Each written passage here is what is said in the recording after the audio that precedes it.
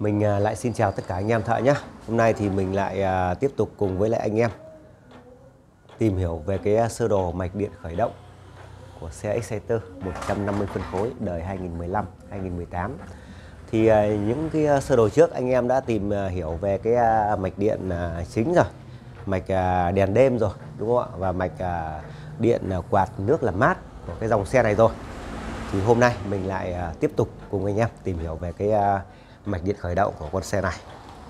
Thì uh, như uh, tất cả các mạch điện khác thì vẫn là gì? Ắc quy 12V được nối mát bằng dây màu đen và đưa lên bằng dây màu đỏ. Qua cầu chỉ chính 15A thì uh, với những anh em đã xem cái uh, sơ đồ uh, mạch điện của mình ở ở cái ba uh, cái mạch của cái dòng xe này rồi thì đây vẫn là cái cụm máy phát điện của nó đúng không ạ? Đấy thì uh, mình cũng lại nói qua lại một chút bởi vì có những anh em bất chợt xem được cái à, mạch điện này chẳng hạn đúng không ạ? Mà uh, chưa từng à, xem kênh của mình mà xem được cái à, video này thì anh em cũng nắm được là đây là cái máy phát điện nhé đấy và được đưa lên hai cái đầu đầu dây màu trắng này, này và đưa thẳng về tiết chế chỉnh lưu. Đấy. Và khi tiết chế chỉnh lưu nắn điện thì sẽ thành dòng điện một chiều và nạp cho ắc quy. Đấy, thì đây nó vẫn là dây màu đen mình à, vẽ thiếu dây mát vẫn, vẫn là dây màu đen. Thì anh em nhìn thấy cái tiết chế chỉnh lưu này thì nó là uh, dùng à, uh, diode cầu thôi. Đấy, hiệu suất của diode cầu thì anh, anh em biết rồi. Đấy, nạp nó rất là khỏe điện đúng không ạ? Đấy, anh em hay dùng diode cầu để anh em chế cháo anh em nạp điện cho những cái cái xe mà anh em dùng nhiều đèn đấy nhá. Đấy. thì mình nói qua về thế để anh em mà nắm được. Đây là cái tiết chế chỉnh lưu dùng uh, diode cầu. Thì đây chính là cái mạch sạc của nó nhá.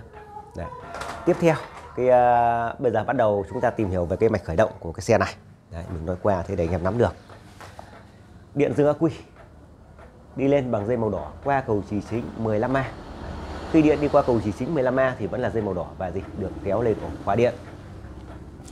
Khi ta bật khóa điện thì điện từ uh, dây màu đỏ được gì? Nối sang dây màu nâu. Đấy. và gì? Được đi qua cái cầu trì phụ 7,5A khi điện đi qua cầu trì phụ 75A thì nó vẫn là màu nâu anh em ạ. Và đi về gì? Cái à, cuộn từ của dơ le đè. Và anh em thấy gì? Cuộn từ của dơ le đè đi ra thì lại bằng dây xanh dương sọc trắng.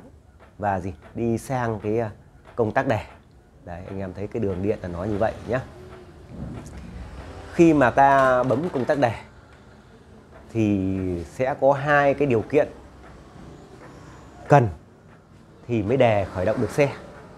Thì anh em nhìn cái đường điện của nó thì anh em sẽ thấy này. Một là ta phải để ở vị trí số mo có nghĩa là số 0 đấy. Thì khi ta bấm nút đề thì điện dương ắc quy đi qua cuộn từ của dây la đề đi sang dây xanh dương, sọc trắng, đi qua nút đề đi sang dây đỏ, sọc đen nhé. Đi sang dây đỏ, sọc đen. Đi qua một con diode. Anh em nhìn này, đi qua một con diode. Và gì? Đi qua số mo được tiếp mát khung thì lúc này mạch điện mới được khép kín. Thì trong cuộn từ mới xuất hiện từ được đúng không ạ? Đấy, xuất hiện dòng điện đi qua cuộn từ. Và lúc này cuộn từ trở thành một cái nam châm điện rồi. Đấy là điều hiển nhiên rồi. Đấy và hút tiếp điểm để đóng cái mạch điện dương ắc quy này này cái, cái dây to này có cái điện dương ắc quy này anh em này. Đấy anh em nhớ nhé điện dương quy này đây là cái dây to nhé. Đấy, bởi vì dòng đề phải chịu tải lớn mà. Đấy, cho anh em phải nắm được như thế. Đi qua tiếp điểm của rơi đề đấy, và đi sang cái dây màu đỏ sọc trắng và tới củ đề đấy, và củ đề thì hiển nhiên được nối mát rồi.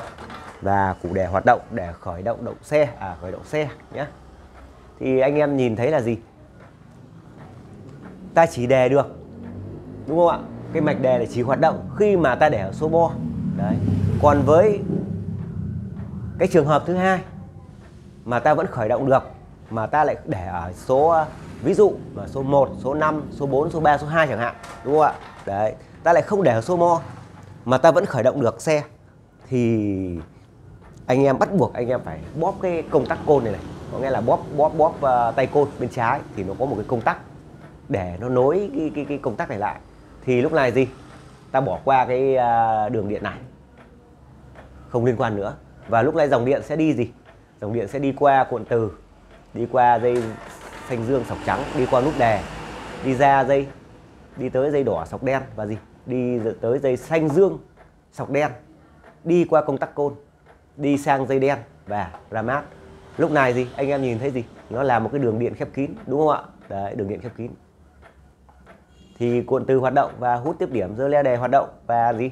Để khởi động động cơ. Đấy, tương tự như giống như trường hợp một là ta để ở số mo thì điện nó mới đi ra mát được. Thì đây trường hợp này là trường hợp thứ hai có nghĩa là anh em để ở số 1 số 2 số 3 số 4 và số 5 đấy thì anh em chỉ đề được khi anh em bóp công tắc côn đúng không ạ?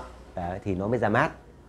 Đấy thì nó chỉ có hai trường hợp mà ta có thể đề được là một là số mo mà hai là ta phải bóp tay côn nếu ta để ở các số khác không phải số uh, số 0 nhé thì uh, anh em nhìn thấy trên đây là có một con diode đúng không ạ? Ở cái riêng cái mạch này thì lại có một con diode chặn có nghĩa là gì? Anh em nhìn cái cái cái cái, cái dòng điện. Dòng điện thì anh em phải thấy là đi từ uh, dương đi uh, tới âm rồi đúng không ạ? Đấy đi như này.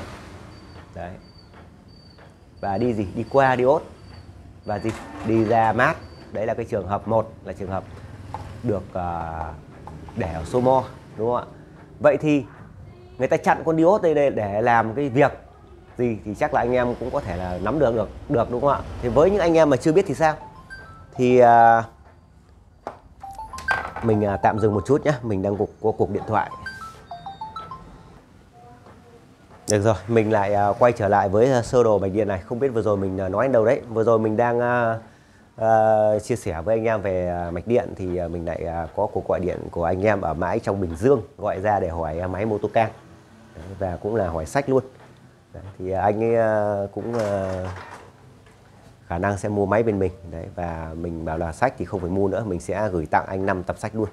Đấy, mình cũng nói chuyện cũng hơi lâu. Đấy, nói đúng là nói chuyện xong rồi giờ còn mình còn chưa biết là vừa rồi mình nói đâu đấy. Nếu mà mình có nói lại hoặc là nhầm lẫn gì thì anh em hết sức thông cảm nhé đấy vì uh, hôm nào cũng thế mình uh, tối nào đấy mình vừa lên sơ đồ vừa làm và gì rất nhiều anh em buổi tối thì anh em biết rồi buổi tối thì anh em xe máy mình mới có cái thời gian nghỉ ngơi thì uh, lúc đấy mới lại uh, gọi điện được. Đấy và mình cũng rất hay gọi điện buổi tối nghe điện buổi tối. Những anh em uh, một là xe cộ nó trục chặt gì đấy mình biết đến đâu thì mình cũng uh, tư vấn với anh em đó. Đấy hai là anh em hỏi mua máy rồi là sách đúng không ạ? Đây thì vừa rồi có một anh ở trong Bình Dương. Đấy, sáng mai là khả năng anh ấy sẽ sẽ mua máy hoặc là mình sẽ gửi luôn sách cho anh. Đấy. thì à, bây giờ mình à, quay trở lại với chủ đề chính là cái à, sơ đồ mạch điện khởi động của xe Exciter 150 đời 2015 2018 này. Thì à, vừa rồi mình đã trình bày rồi đấy. Thì anh em thấy là gì? Cái mạch đề này thì à, với anh em mà biết rồi thì à, không có cái gì là phức tạp. Nhưng với anh em mà đang học nghề hoặc là mới à, mới mới uh, ra nghề đấy, mà anh em không có sơ đồ mạch điện thì anh em thấy là gì? Nếu mà anh em ờ, không có cái sơ đồ thì anh em cũng hơi bị ờ, khúc mắc một số cái đúng không ạ? Đấy đặc biệt là ví dụ như anh em nhiều khi là còn không nắm được những cái con diode nằm ở đây để làm gì. Đấy thì ờ, mình nói tiếp nhé đấy thì cái con diode này anh em nhìn này đấy thì điện dương ắc quy. Thì bao giờ nó cũng đi đi đi theo chiều từ dương tới âm đúng không ạ? Đi ra kết thúc là âm. Đấy, và thành một cái mạch điện khép kín. Thì cái con diode này thì nó chỉ cho, cho chiếc chiều điện dương đi ra mát đấy, để khi ta bấm công tắc đề lúc công tắc ờ, số mo đúng không ạ? Đấy. Thì ờ, khi mà anh em nhìn thấy này khi mà cái đèn số 4 này này anh em nhìn đèn số 4 này này. Đấy khi mà ta để ở đèn số 4 à, ở đèn số 4 thì nó có cái điện dương ắc quy nó ở sẵn đèn rồi đúng không ạ? Khi công tắc ở số mo thì gì? Đèn số 4 sáng. Anh em nhìn nhé cái mạch điện này là anh em nhìn để ý này với anh em chưa nắm được thôi nhé thì à, đèn số 4 này tất cả các đèn 1230 12345 nhé thì à, bao giờ là cái à, cái cái cái, cái, mình xin lỗi. Đây là đèn số 0 đèn số 0 anh em nhé mình ghi nhầm. Đấy. Đèn số 0 này. Đấy thì bao giờ anh em để đèn để để để, để ở cái uh, nấc đèn mo thì đèn số mo sáng rồi đèn không số 0 sáng rồi đúng không ạ? Đấy thì vì vì là gì? Điện dương ắc quy, nó có sẵn ở các đèn rồi. Điện dương ắc quy là có sẵn ở các đèn số ờ, 0 này 1 2 3 4 5 là đều có điện dương ắc quy ở sẵn đèn rồi. Và chỉ còn chờ mát, đúng không ạ? Chỉ còn chờ mát, tiếp mát ở dưới heo số thôi là ta gạt, đúng không ạ? Ví dụ đây là mũi tên. Đấy. Chạy đến số nào để tiếp mát cái cho số đấy thì đèn sẽ sáng, đúng không ạ? Đấy. Thì ờ, ta để đèn số 0 thì hiển nhiên đèn số 0 sẽ sáng. Đấy. Thế vậy thì với cái trường hợp mà ta để đèn số, ta để ở chân số 1 2 3 4 5 đúng không ạ? Đấy 1 2 4 5 ta không đề được, ta phải bóp tay côn. Ta phải bóp tay côn thì nó lại có mát. Đúng không ạ? Anh em nhìn nhá, nó lại có mát. Nó ngược về đây và đèn số không sáng. Vậy thì nếu mà ta không chặn một con diode ở đây, thì cái người điều khiển xe sẽ dễ dễ bị nhầm lẫn là gì? Bây giờ nó đang ở số 1 hoặc số 2 số 3 số 4 hoặc số 5 thế nhưng mà ta bóp tay côn thì đèn số không, nó lại sáng nếu không có diode cho nên là người điều khiển xe dễ bị nhầm là bây giờ nó là đang ở số 0 đấy, thì người ta mới phải chặn một con diode ở đây. Đấy, chặn diode ở đây, anh em nhé. Đấy, chặn diode ở đây để khi là ta bóp cái công tắc côn này này. Đấy, thì mát nó không thể đi ngược về đây được. Mát nó không đi ngược về đây được, anh em nhé. Đấy, con diode để chặn, ngược. Đấy, cho nên đèn số 0 không thể sáng được. Đấy, anh em nhìn thấy sơ đồ mạch điện nhé. Đèn số 0 không thể sáng được. Khi ta bóp mát ở đây, ta bóp công tắc cây côn để ra mát. Đấy, mặc dù là đây dây mát này đấy nhưng mà đến mát đi đến đây là gì? Bị con diode nó chặn lại cho nên đèn số không không sáng. Đấy cái mục đích là cái con diode này chặn với mục đích là như vậy nhé đấy để anh em những anh, anh em mà chưa nắm được thì anh em cũng nắm được nhé đấy thì à, để là gì? Để cái người điều khiển xe không bị nhầm lẫn khi ta đặt ở những cái chân số khác ngoài số 0 mà ta bóp tay côn thì đèn số 0 không thể sáng bởi vì có diode nó chặn. Đấy còn nó chặn như thế nào thì vừa rồi mình nói đấy. Anh em thấy điện dương thì nó sẽ đi được qua diode này nhưng mà điện âm thì nó lại không đi theo chiều này được đúng không ạ? Đấy, nó bị chặn lại. Đấy. Thì uh, trên đây là vừa rồi mình cũng uh, cùng anh em tìm hiểu về cái uh, sơ đồ mạch điện khởi động của cái xe Exciter 150 đời 2015 2018 thì uh, với những anh em anh em uh, chưa biết nhé hoặc là chưa có tài liệu thì anh em cũng uh, xem và tham khảo nhé đấy còn uh, với những anh em mà cần uh, uh, sách thì à, mình vẫn có những cái à, sơ đồ mạch điện lẻ của tất cả các dòng xe. Đấy mình in màu để gửi tới anh em nhé anh em à, đấy thì mình cũng nói lại một lần nữa và mình cũng nói lên một hai ba cái video mình cũng thông tin là trước đây. Một số anh em là không nắm được không biết là mình có sơ đồ mạch điện nên là anh em cứ đi chụp cái màn hình này vào. Xong rồi anh em đi photo màu nó rất là đắt đỏ đấy mà nó lại không đẹp không chuyên nghiệp. Đấy, cho nên anh em cần sơ đồ mạch điện anh em cứ gọi điện cho mình theo số zalo đây anh em này. Đấy thì à, mình sẽ à, gửi sách tới cho anh em. Sơ đồ mạch lẻ tất cả các dòng xe in màu rất là đẹp nhé ngoài ra thì à, anh em có nhu cầu về máy đọc lỗi Motocan 7, Motocan Tab, Motocan CE những cái phiên bản tiết kiệm đấy nhé thì anh em cứ gọi cho mình mình sẽ gửi tới địa chỉ anh em cung cấp. Đặc biệt anh em mua Motocan 7 thì anh em vẫn được công ty hỗ trợ anh em một uh, bốc trị giá 6 triệu 8 để anh em uh, nạp phần mềm. Hiệu chỉnh tỷ lệ hòa khí AF test các uh, cảm biến. Uh, có nghĩa là mình giả lập tín hiệu các cảm biến này. Rồi là gì? Kiểm tra van IACV ISC để xem xem là van còn tốt hay không đúng không ạ? Rồi là kiểm tra trực tiếp ECU xem có bị hỏng hay không lỗi phần mềm hay lỗi phần cứng đấy anh em phải cần có mô tô căn 7 anh em kết nối với mô tô bốc anh em mới làm được những cái việc đó nhé đấy thì à, anh em vẫn đang được tặng một uh, bốc như thế này. Trị giá 6 triệu 8 chứ còn ngày trước là mình phải mua cái bộ mô tô bốc là 6 triệu 8 đấy nhá. Còn bây giờ anh em đang được tặng nhé đấy khi anh em mua máy mô tô căn 7 còn anh em mua mô tô căn tab thì uh, tất cả những cái chức năng nó nó ở nằm ở trong mô tô căn tab rồi nó liền khối rồi. Đấy và anh em xem là xem trên màn hình máy tính bảng nhá đấy, cái mô tô căn thì nó rất hay là nó liền hết tất cả trong một cái cục rồi đấy và anh em chỉ cần có máy tính bảng anh em kết nối cái này anh em anh em xem rất là thuận tiện. Đấy, và có cả sơ đồ mạch điện luôn. Đấy, nó rất là hay.